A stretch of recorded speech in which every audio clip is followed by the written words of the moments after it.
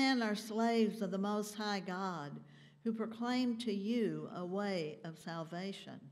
She kept doing this for many days. But Paul, very much annoyed, turned and said to the Spirit, I order you in the name of Jesus Christ to come out of her. And it came out that very hour. But when her owners saw that their hope of making money was gone, they seized Paul and Silas and dragged them into the marketplace before the authorities. When they had brought them before the magistrates, they said, These men are disturbing our city. They are Jews and are advocating customs that are not lawful of us as Romans to adopt or observe. The magistrates had them stripped of their clothing and ordered them to be thrown, they, and gave them a severe flogging. They threw them into prison and ordered the jailer to keep them securely. Following these instructions, he put them in the innermost cell and fastened their feet in the stocks. About midnight, Paul and Silas were praying and singing hymns to God, and the prisoners were listening to them. Suddenly there was an earthquake so violent that the foundations of the prison were shaken, and immediately all the doors were opened, and everyone's chains were unfastened. When the jailer woke up and saw the prison doors wide open, he drew his sword and was about to kill himself since he supposed that the prisoners had escaped. But Paul shouted in a loud voice, Do not harm yourself, for we are all here. The jailer called for lights, and rushing in, he fell down trembling before Paul and Silas. Then he brought them outside and said, Sirs, what must I do to be saved? They answered, Believe on the Lord Jesus Christ, and you will be saved, you and your household. They spoke the word of the Lord to him and to all who were in his house. At the same hour of the night, he took them and washed their wounds. Then he and his entire family were baptized without delay. He brought them up into the house and set food before them, and he and his entire household rejoiced that he had become a believer in God. This is the word of God for the people of God.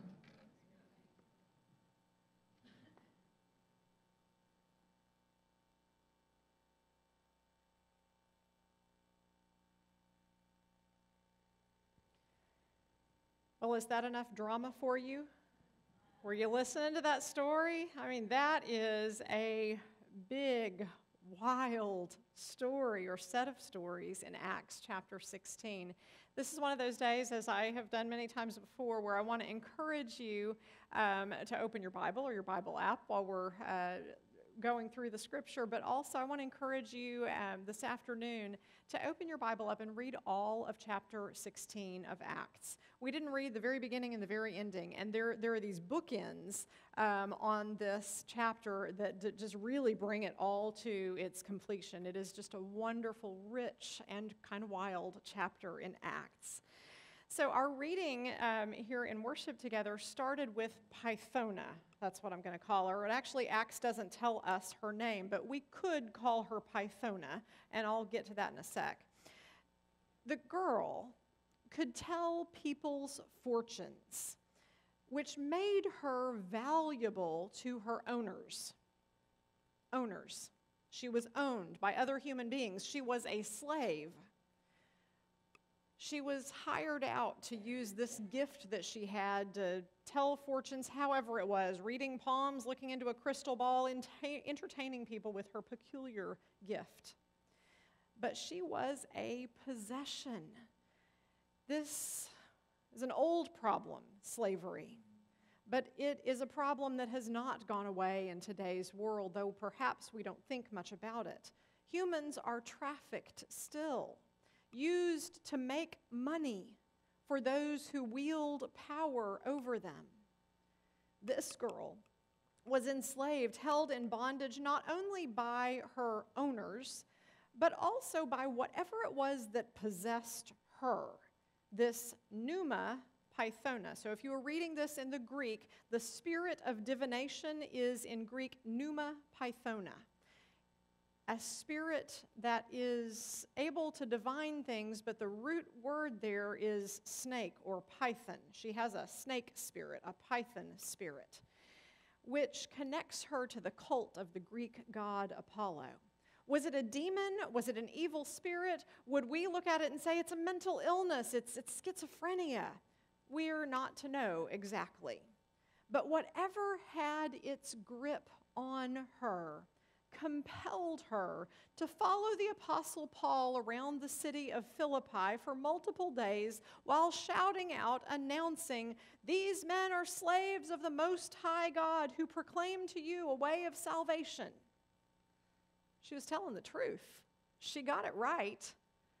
But eventually she got on Paul's nerves. I mean, imagine that you're trying to go about your day to day business, do your job and whatnot, and there's somebody following you around the whole time yelling. It gets old no matter what they're yelling. And so, excuse me.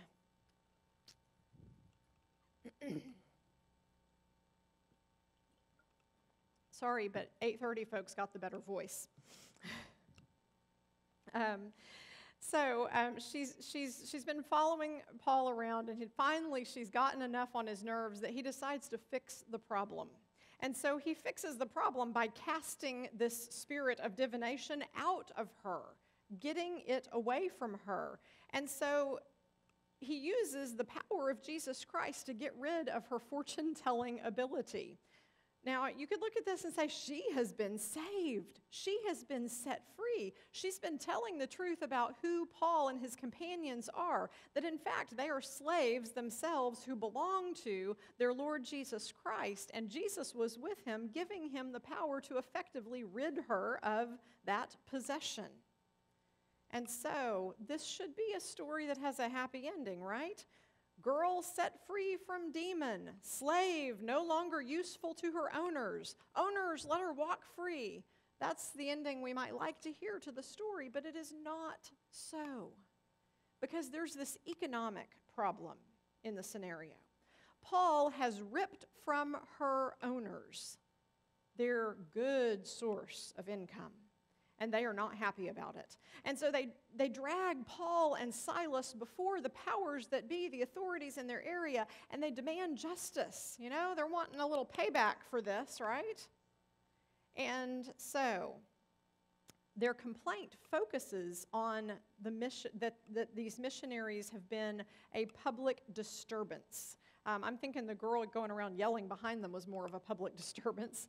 But anyway, their complaint is that these guys have been a public disturbance and that they've been advocating customs that were not from around there. You know, they're doing things differently. They're bringing something that is not us, it's other. And the authorities agree with the accusation against Paul and Silas that they are some kind of subversives, some kind of a threat to the order of the state a charge not unlike the accusations that are made against Jesus himself that led to his crucifixion. Well, Paul and Silas are severely beaten and thrown into jail. The ones who saved the girl and got her her freedom end up becoming captives themselves on account of what they have done they are now held captive by the Roman authorities. And they are tucked way into the bowels of the prison, into the depths of the jail for safekeeping, locked in the stocks so that there is no chance of them going free. But Paul and Silas don't let their circumstance get them down. From the bowels of the prison, they sing and they pray in the depths of the night. Shackled, yes, but their spirits are free because they know that God is with them. They worship in spite of their circumstances because they know who they belong to. They know that the Lord absolutely is with them. Religion has helped many a prisoner to make it through his or her incarceration. Religious fervor is not uncommon for those who are locked behind bars. Preaching on this passage led me to kind of get a little curious about the state of things in our prison system in the United States. And so, first of all, I just wanted to know how many people are in prison after all? We have 2.2 million Americans in our prisons right now. 2.2 million folks in prison. And the other detail that I came across when I was just nosing into this is a rather embarrassing detail, I think, embarrassing for me, and I would hope kind of an embarrassment for all of us. And that is that the United States of America has the highest rate of incarceration of any country in the world. Wow. So, I am so thankful for those in our United Methodist connection and beyond who are committed to prison ministries, to reaching folks in prison with the love and the gospel of Jesus Christ. We've got folks connected um, in our local uh, area of United Methodism who do Kairos. Uh, that's kind of like Walk to Emmaus, a spiritual retreat for those in prison and for those who've just gotten out and their families. We also have folks who go in and do disciple Bible study week by week with prisoners. And this is in keeping with Jesus' own teaching, the clear importance that Jesus places on this in Matthew 25 when he says, When you, when you minister to those in prison, it is as though you are ministering unto me. So, if you have any inkling of interest in this or concern for this, talk to me because I can connect you with folks who are doing prison ministry and uh, find ways for you to be a part of that as well. So, back to Paul and Silas. As they worship from their cell, the earth begins to shake. And the foundations of the prison are moved, and the gates open, and chains fall. And the jailer, it was the middle of the night, he had fallen asleep. But the violent earthquake shakes him awake.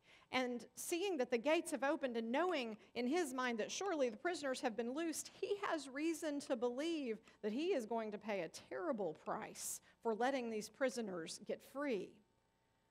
And so, to avoid the consequences, the wrath that he might face, he prepares to take his own life. He lifts his sword, ready to end his life. And again, just as Paul did with the girl, Paul offers saving words to him, freeing words to the jailer. He says, Do not harm yourself. We're all here. It's not as bad as you think. Hold on before you take an action that you cannot undo. Suicide is not the answer. Friends, this gives me pause to say to you, body of Christ, suicide is never the answer if you or someone you love is talking about such things, thinking that's their only answer, let them know it's not. And you know this day it is not. And talk to someone you can trust immediately me or another pastor, a friend, someone who can help you and get you to help. Well, thankfully, the jailer is stopped in time there were other ways to deal with that situation. He just needed some help to see that there were other options. So someone gets a lantern, gets some light, and he sees that the prisoners are still there after all. What kind of prisoners are these? Paul and Silas, they are not like the others. And so the jailer asks them, What must I do to be saved? So here's the thing we're in church. We're reading from the Bible. So we would read this and maybe we would guess that this has got to be a theological question, right? What must I do to be saved? But what if the jailer was just asking a practical question here?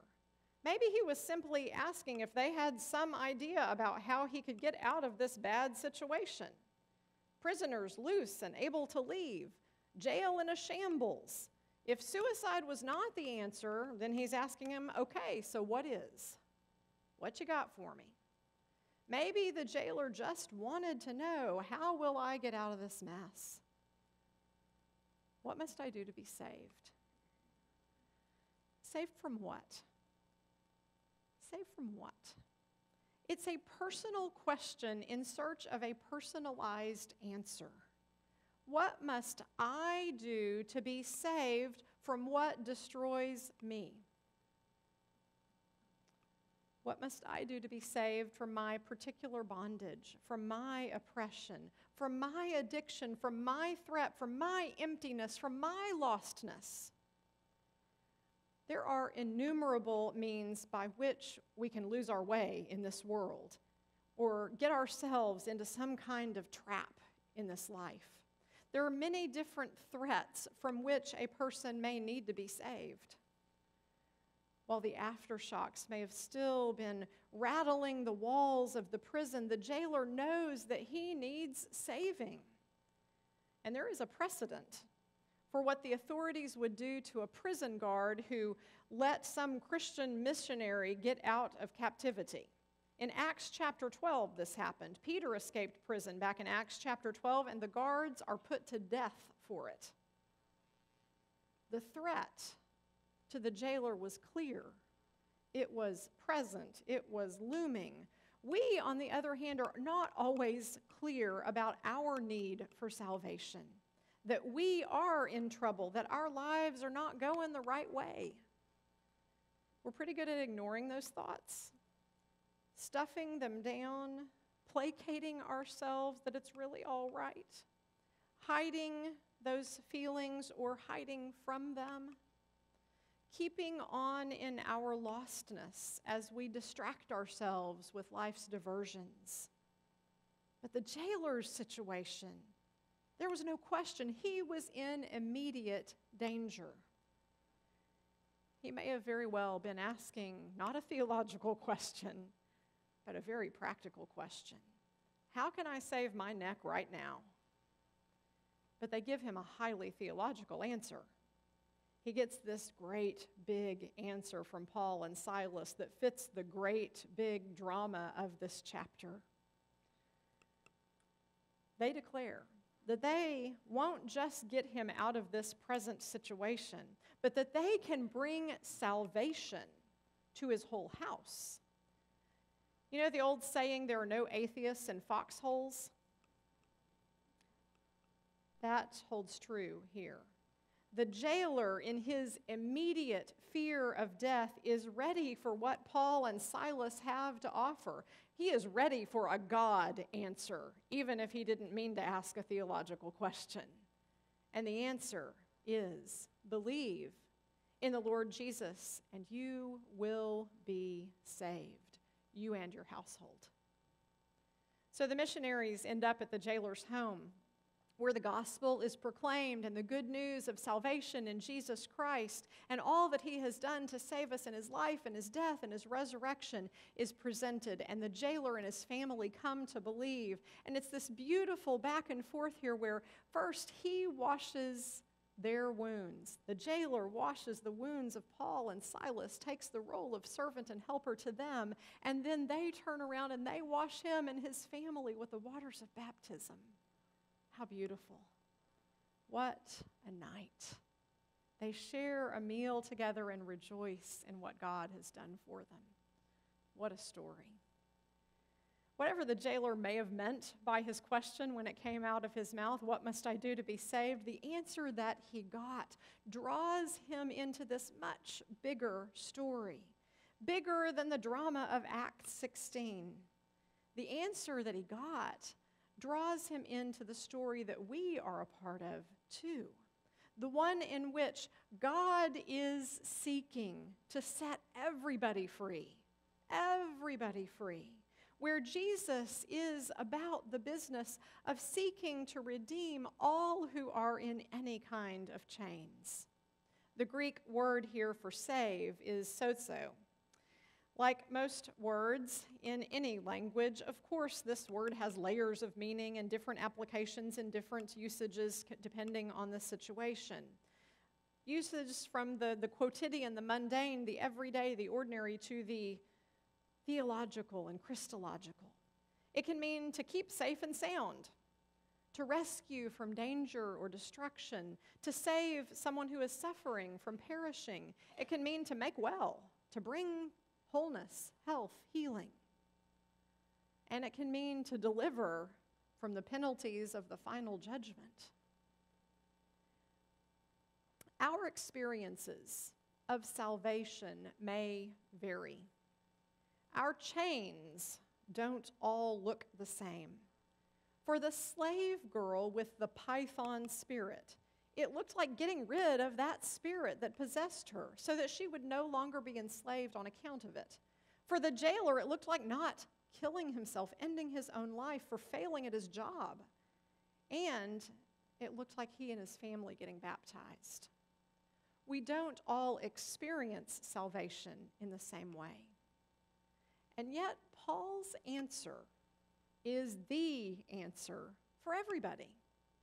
What we need, what you need, what the whole world needs is to trust in, to believe on Jesus. Like the girl and the jailer, we cannot save ourselves. Our stories are unique. The circumstances from which each one of us needs to be saved are individual, they're ours. But one answer does fit all. It's not a self improvement program or six steps you need to take or some strategic plan. It is the discovery that our small individual lives, our personal stories, are swept up in this great, grand drama. That God is reaching out to each of us in Jesus Christ. That we are not alone in our traps, our cells, our sickness, our fears, our loneliness, our addictions, our brokenness. That Jesus has his hand open to reach out to each of us, to try to lift us up from the muck that we get ourselves into and pull us into his salvation story, into the gospel that transforms and redeems and gives new life. Trusting in him means giving up trying to save ourselves because no matter what your problem is, ultimately the answer to the question is the same Jesus saves. Thanks be to God. Amen.